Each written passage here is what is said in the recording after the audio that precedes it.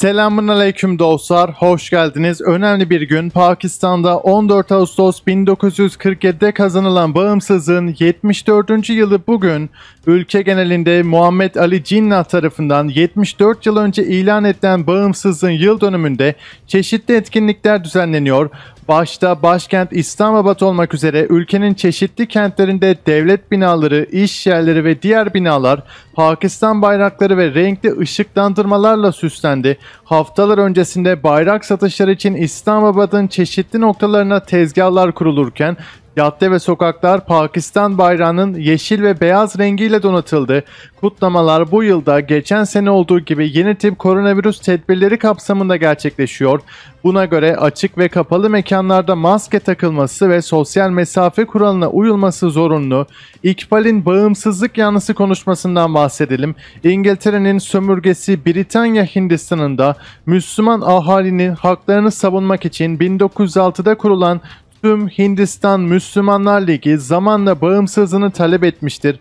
Muhammed İkbal 1930'da Allahabad'da tüm Hindistan Müslümanlar Ligi'nin açılış konuşmasında verdiği mesajda Müslümanlar için ayrı ve bağımsız bir devletin gerekliliğine dikkat çekiyor. İkbal'in bu konuşması Pakistan'ın kuruluşu yönünde ilk ciddi adım olarak değerlendirilirken 23 Mart 1944'te Lahore'da toplanan tüm Hindistan Müslümanlar Ligi Britanya Hindistan'ındaki Müslümanlar için ayrı bir devlet talebini içeren Lahore tasarısını kabul etti. Pakistan'ın isminin İngiliz yönetimi altında o dönemde Müslümanların çoğunlukta bulunduğu eyaletlerin isimlerinden alıntılar yapılarak oluşturulduğu belirtiliyor. Buna göre Pencap'tan P harfi, Afganiye'den ki bugünkü adıyla Hayber Patunga'dan bahsediyoruz A harfi, Keşmir'den K, Sind'den S harfleri, Belucistan'dan Tan eki alınarak Pakistan ismi oluşturuldu. 14 Ağustos 1947'de ise bağımsızlık ilan edildi.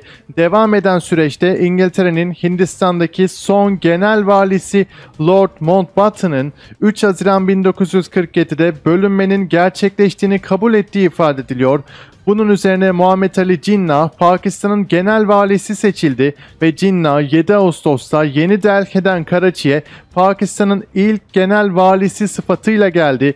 Britanya Hindistan'ı 1947'nin 14 Ağustos'unu 15 Ağustos'una bağlayan gece resmi olarak iki ülkeyi ayırmış durumda. O tarihte Kadir Gecesi 14 Ağustos'a denk geldiği için Pakistan'ın bağımsızlık günü 14 Ağustos olarak kabul ediliyor.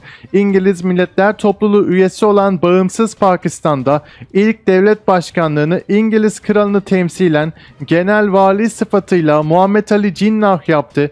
1956'dan sonra ise İngiliz kralının Pakistan devlet başkanlığı yasal olarak kaldırılarak Pakistan genel valiliği yerine Pakistan Cumhurbaşkanlığı makamı oluşturuldu. İlk Cumhurbaşkanı ise 4. Genel Vali İskender Ali Mirza oldu. İşin özeti İngilizler de Pakistan'ın bağımsız olmasını destekledi. Fakat tabi İngilizler bunu desteklerken sınırları öyle bir böldüler ki yıllar boyunca sınır sorunu bir türlü çözülemedi.